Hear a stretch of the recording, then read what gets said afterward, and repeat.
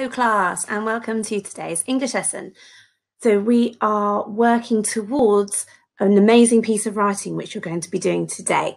So today is going to be kind of the culmination of all the lessons we've done over the last couple of weeks and all the work that you've put in and all your brilliant ideas all coming together in one amazing piece of writing, which is going to be a description of the setting of the film Tadeo Jones. So yesterday you had a look at this text. This was an example of a setting description opening called the crypt. Uh, so let me read it to you. After every turn, there are pitch black winding tunnels, which are as long as the River Nile. Relentlessly, the cold, airless rooms suffocate and strangle their victims. Crumbling debris is a cascading waterfall, breaking the eerie, still silence. Enormous looming statues, which are as old as time, stand tall, and all around the haunting wind screams my name. The aroma of damp earth lingers in the ancient crypt, and frightening shadows leap and dance in the limelight, lamplight. Wow. what an amazing description. I don't know about you, but even without seeing the film, I could read that and just completely picture what it was like, the mood, the way it looks. It brings all my senses alive and makes a really vivid picture in my mind. And that's what, as a writer, you want your reading, your writing to do for your reader. So let's have a look at this piece of writing. We'll break it down. Yesterday, you asked to identify all the different features that you could see that we've worked on are in here and I've underlined some and color coded them. I haven't underlined absolutely everything because there was masses in here, but let's just go through them. So in red here, after every turn, we've got an adverbial, okay? And then tells you where. After every turn, there are pitch black winding tunnels. Now, I think that's quite clear, isn't it? Pitch black winding tunnels. That's an expanded noun phrase the noun there being tunnels and pitch black are winding is the um, adjectives to describe that. So uh, we've got an fronted adverbial there, adverbial at the start of the sentence, followed by an expanded noun phrase. After every turn, there are pitch black winding tunnels, which are as long as the River Nile. Now, I hope I don't have to tell you what the purple line means there. What kind of writing is that? As long as the River Nile. It's a simile. It's comparing the tunnel to the River Nile. So it's it's saying the tunnels are really, really, really, really long. And instead of saying the tunnels are really, really, really, really long, which is not very sophisticated writing, it's quite basic writing. And also it doesn't really help bring it alive for the reader they've picked something which is actually really, really long, the River Nile, and compared it. It's as long as the River Nile. Okay, so that's a really good opening sentence, isn't it? About talking about the tunnels on the way in to the crypt. So it's guiding you through.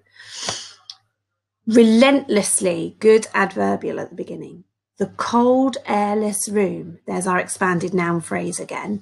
Cold, airless room. Two adjectives describing that one noun. Suffocate and strangle their victims. Hmm, now, what is that?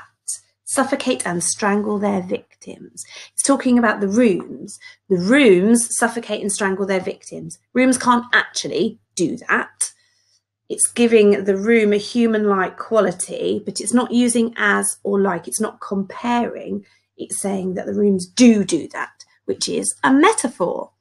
So there we've got adverbial, uh, expanded noun phrase, and a metaphor. And let's put those two sentences together. After every turn, there are pitch black winding tunnels, which are as long as the River Nile. Relentlessly, that means without giving up, without stopping, never stopping the cold, airless rooms suffocate and strangle their victims.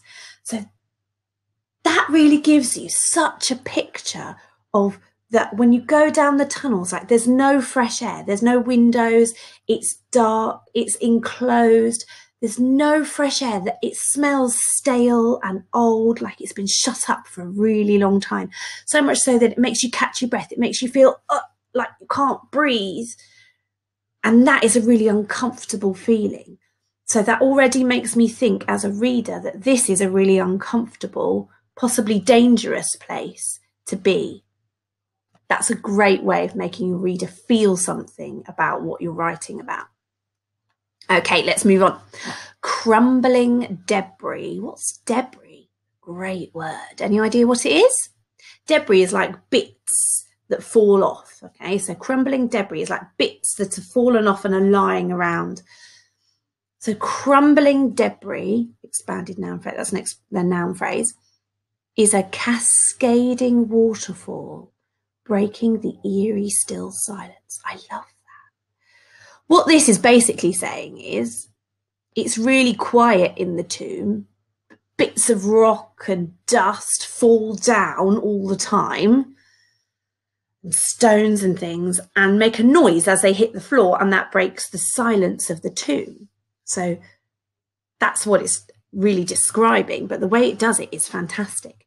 Crumbling debris is a cascading waterfall cascading waterfall. That means a waterfall that's falling down and crashing. That's a metaphor because it's saying it is that the debris, the dust and stones and brick and things that fall down are, are a waterfall breaking the eerie still silence. So that action of all the bits that falling off the walls breaks the silence of the tomb, makes a noise. Instead of just saying makes a noise, it breaks the eerie, still silence. That's an expanded noun phrase. Enormous looming statues, which are as old as time. Now, we've worked on this particular sentence, haven't we, before? So I hoped you could identify those. Enormous looming statues, expanded noun phrase, which are as old as time. Simile, stand tall and all around the haunting wind screams my name. Ooh, that's a bit creepy, isn't it?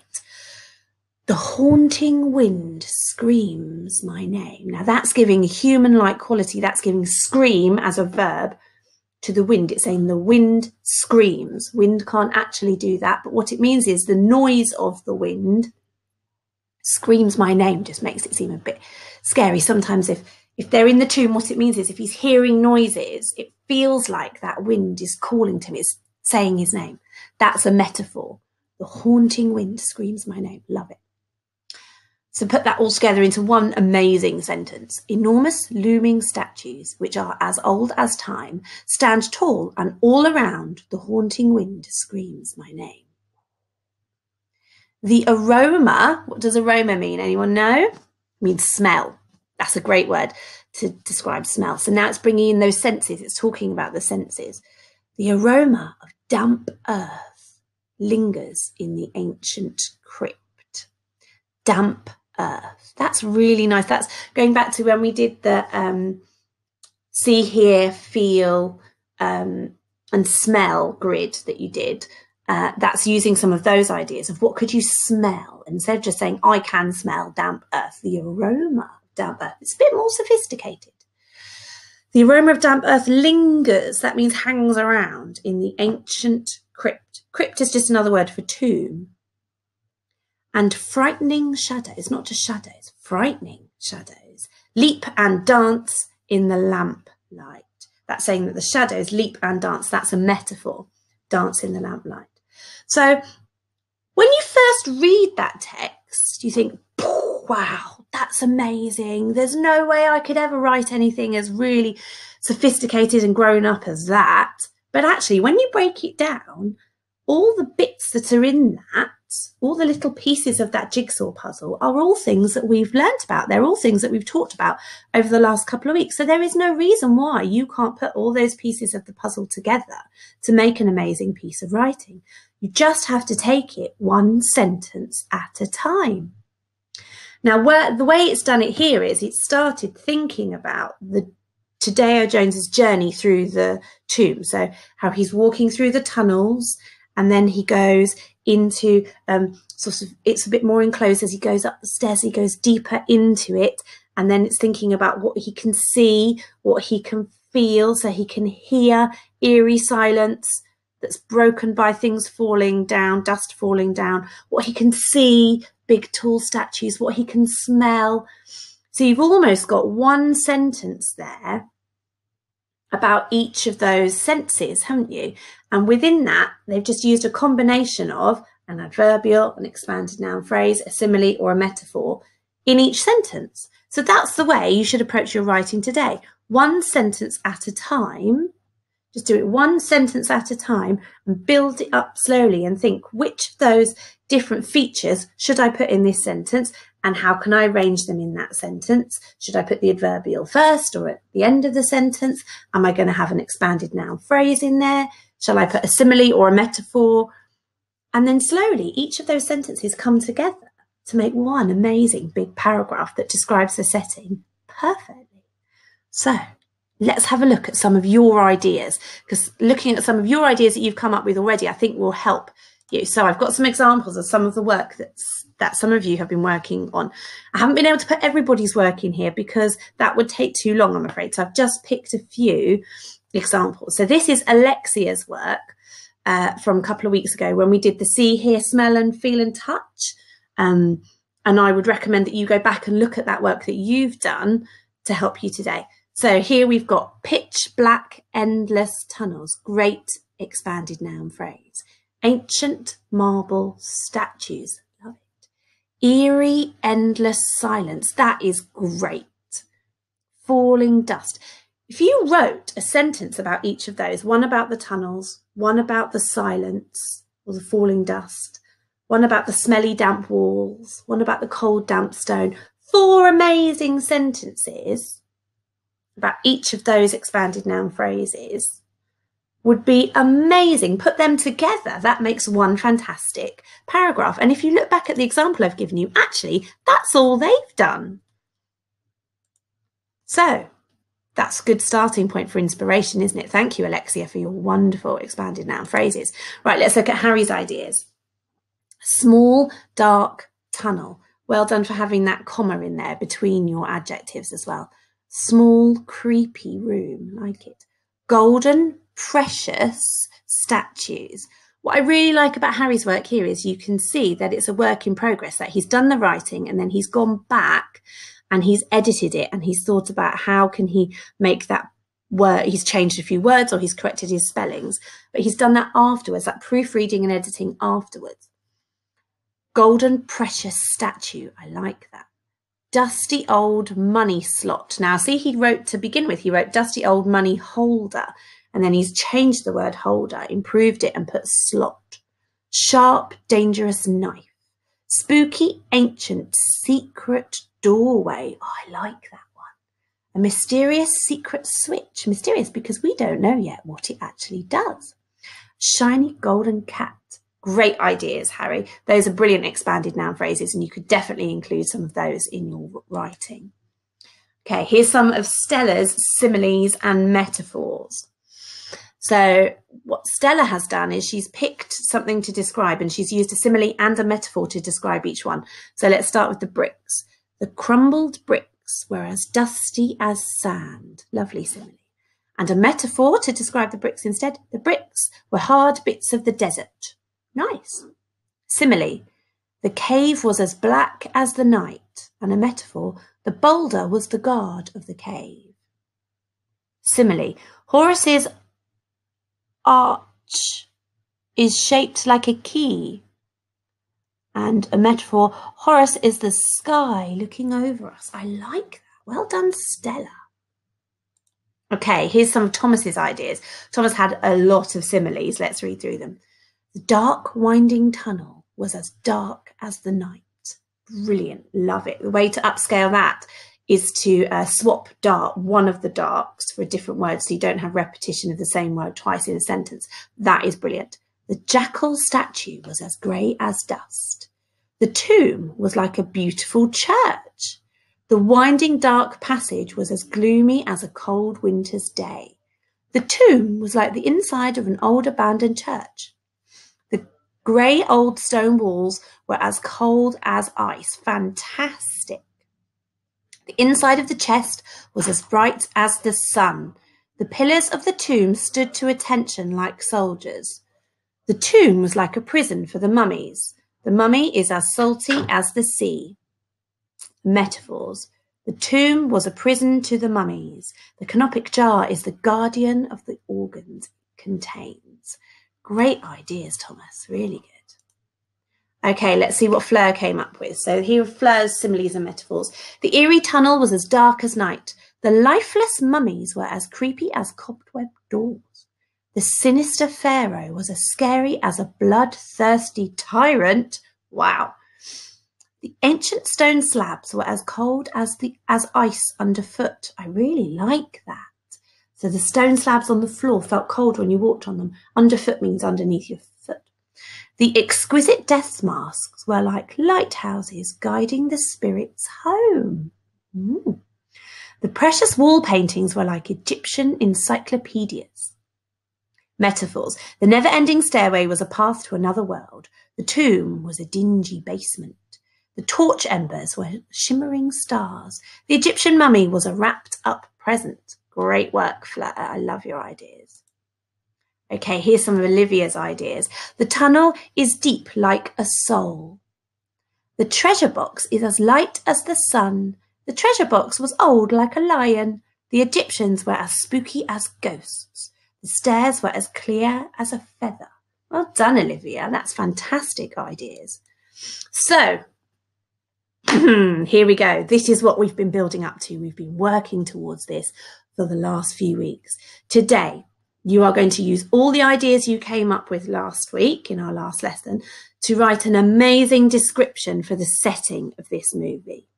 Okay, so you've got to go back over all your ideas, think about your um, senses, see, hear, feel, and, and touch and smell. And like I said, I would try and make one sentence for each of those senses that includes all the other things. Build it around those four sentences and work a sentence at a time.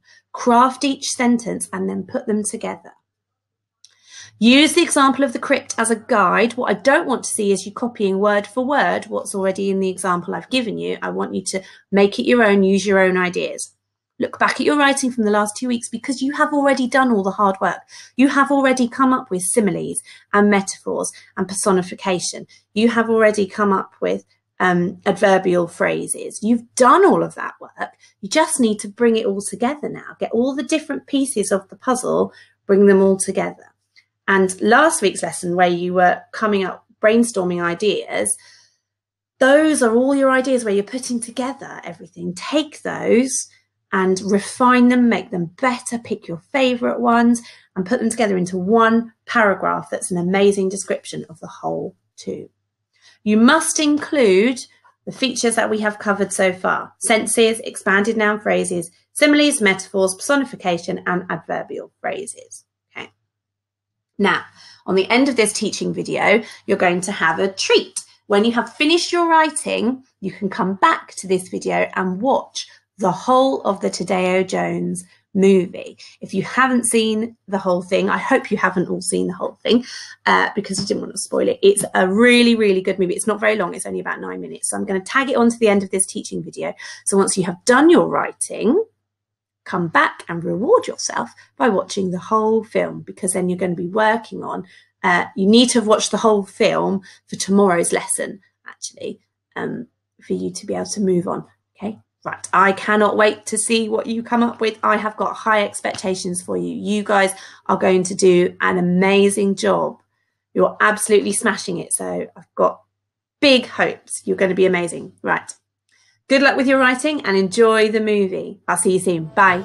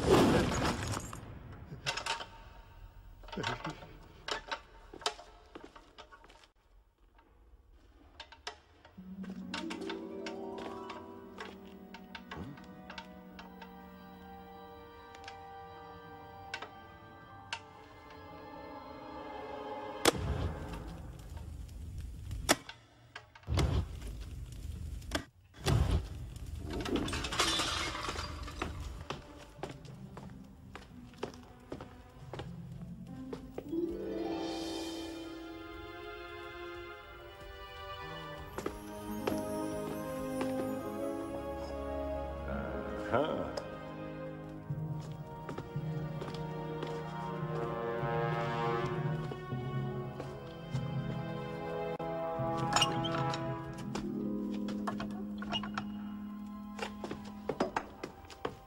Mm-hmm.